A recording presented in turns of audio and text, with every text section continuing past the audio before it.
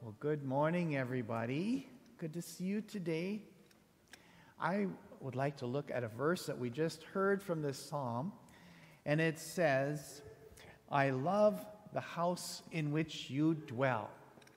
Oh, we have one more coming. We'll just let you join us. I would like to think about the houses where you live. What do you love about your house that you live in?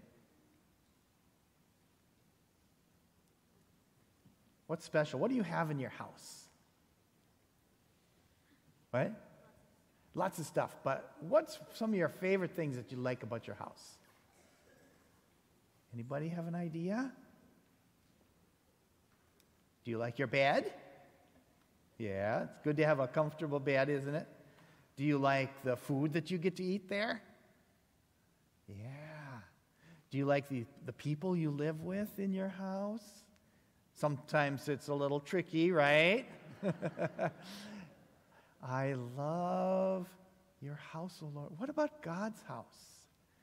We talk about our church building as God's house sometimes, don't we?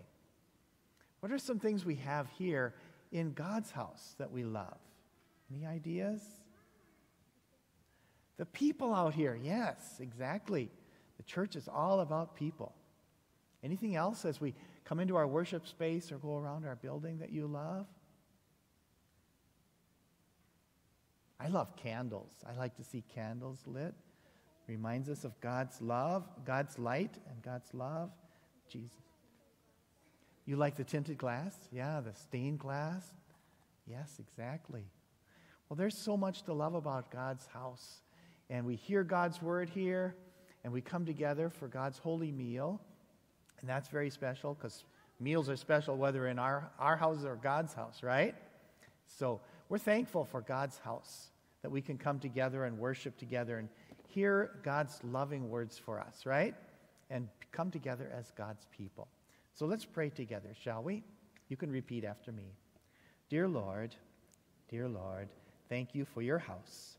Thank you for your house.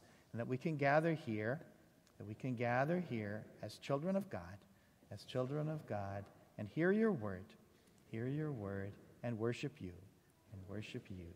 Amen. Amen. All right. Thanks, guys, for coming on.